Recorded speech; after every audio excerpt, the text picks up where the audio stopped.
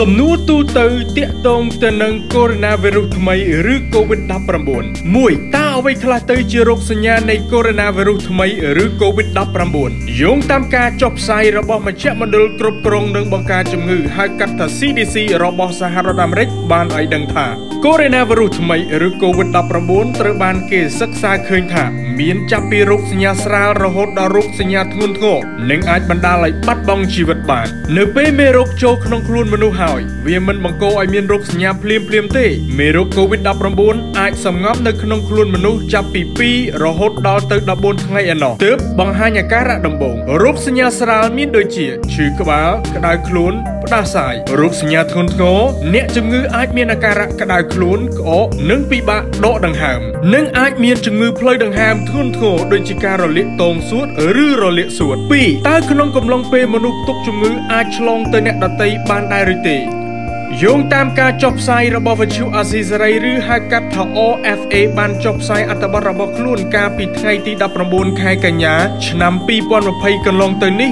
ដោយលើកឡើងថាការសិក្សាចុងក្រោយរបស់ក្រុមអ្នកវិទ្យាសាស្ត្រនិងអ្នកជំនាញវិទ្យាសាស្ត្រដើម្បីស្វែងយល់អំពីជំងឺរាតត្បាតកូវីដ -virus ថ្មីឬ COVID-19 រកឃើញថាមេរោគសា CoV2 ដែលអាចបង្កឲ្យកើតជំងឺរលាកផ្លូវដង្ហើម COVID-19 អាចចម្លងស្ងាត់ស្ងាត់ពីមនុស្សដែលគ្មានបង្ហាញរោគសញ្ញាទាល់តែសោះឬដែលគេហៅថា silent transmission 3 តើវីរុស COVID-19 រីករាលដាលយ៉ាងដូចម្តេចអង្គការដើម្បីកុមារគ្រប់រូបដែលហៅកាត់ថា UNICEF ឯណោះវិញក៏បានចុះផ្សាយនិងរៀបរាប់ផងដែរថាវីរុសនេះត្រូវបានចម្លងតាមរយៈការប៉ះពាល់ផ្ទាល់ទៅនឹងដំណក់ទឹកតូចតូចដែលចេញពីប្រព័ន្ធភ្លើងដង្ហើមរបស់អ្នកដែលបានឆ្លងវីរុសតាមរយៈការក្អកនិងកណ្ដាស់និងការប៉ះទៅលើផ្ទៃនានាដែលមានវីរុសវីរុស COVID-19 អាចរស់នៅផ្ទៃខាងក្រៅបានជាច្រើនម៉ោងប៉ុន្តែថ្នាំសម្លាប់វីរុសទូទៅអាចប្រើដើម្បីសម្លាប់មេរោគនេះបាន4មកដល់ពេលនេះតើមានថ្នាំឬវ៉ាក់សាំងដើម្បីការពារវីរុសកូវីដ -19 ថ្មីឬ COVID-19 ហើយឬនៅបើយោងតាមការចុះផ្សាយរបស់វិទ្យុបារាំងកម្ពុជាកាលពីដើមខែកុម្ភៈនេះបានសរសេរថា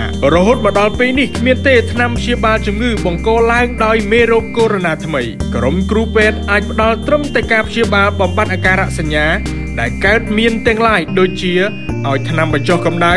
ក្នុងករណីក្តៅខ្លួន ថ្នាំក្អកនៅពេលដែលមានអាការៈកកនិងឲ្យសម្រាប់កុំឲ្យតាចេញក្រៅ5តើនរណាងាយនឹងរងគ្រោះហើយវិវត្តទៅរកសភាពធ្ងន់ធ្ងរ កម្មវិធីសំណួរចម្លើយរបស់អង្គការសុខភាពពិភពលោកហៅកាត់ថា WHO ក៏បានកត់សម្គាល់ចំណុចនេះផងដែរថាមនុស្សចាស់និងមនុស្សនិងមនុស្សដែលអាចប្រឈមមុខនឹងជំងឺឬកំពុងមានជំងឺដូចជាជំងឺលើសឈាមជំងឺបេះដូងជំងឺមហារីកសួតឬជំងឺទឹកនោមផ្អែមក្រុមមនុស្សទាំងអស់នេះហាក់ដូចជាវិវត្តទៅជាជំងឺធ្ងន់ធ្ងរឆាប់រហ័សជាងអ្នកដទៃ6តើអ្នកអាចជៀសវាងហានិភ័យនៃការឆ្លងវីរុសបានយ៉ាងដូចម្តេចក្រសួងសុខាភិបាលនៃប្រជាណាចក្កម្ពុជា បានណែនាំវិធីបង្ការដែលអ្នកនិងក្រុមគ្រួសាររបស់លោកអ្នកអាចអនុវត្ត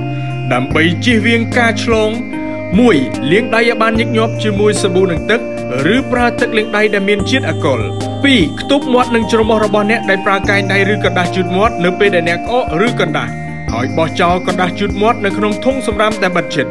3ជៀសវាងប៉ះពាល់ផ្ទាល់ជាមួយអ្នកដែលមានរោគសញ្ញាដូចជាផ្ដាសាយឬគ្រុនក្តៅ4 ទៅជួបគ្រូពេទ្យប្រសិនបើអ្នកក្តៅខ្លួនក្អកឬមានអារម្មណ៍ថាពិបាកដកដង្ហើមសូមពុកម៉ែទាំងអស់គ្នាមានសុខភាពល្អនិងជៀសចាក់ឆ្ងាយពីជំងឺ Corona វីរុសថ្មីឬ COVID-19 សូមអរគុណ